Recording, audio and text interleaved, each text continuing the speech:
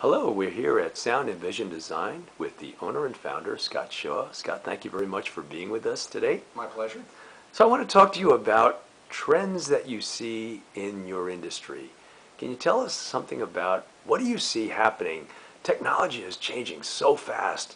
Every time I put something new in, it's antiquated in a week. But it, you know, not that's an exaggeration. But I bought something 10 years ago and I thought I was cool. Now it's a dinosaur. So It's ancient. It's Yeah, ancient. it- So it- tell us about trends that you see out there.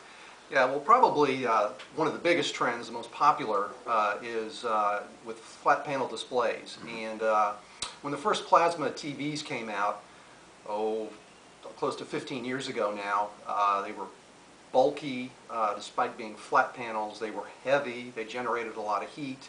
And the trend um, in the last, I would say, five to six years has been for lighter displays, larger displays, and displays that don't use nearly as much power, don't generate heat, and uh, also are cheaper.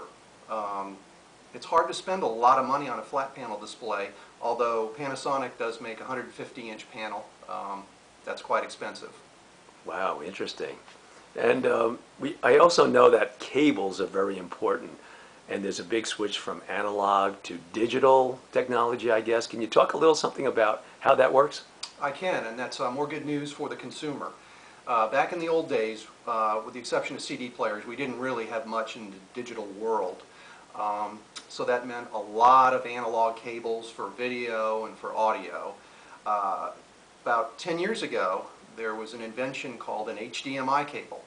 And that cable is a digital cable, and it transmits uh, full high definition video as well as full high definition audio, such as HD True Audio, that sort of thing.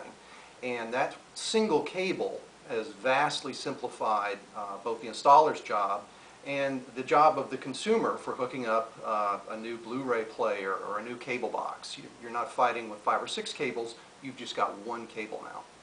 Wow, amazing. Well, thank you very much. My pleasure.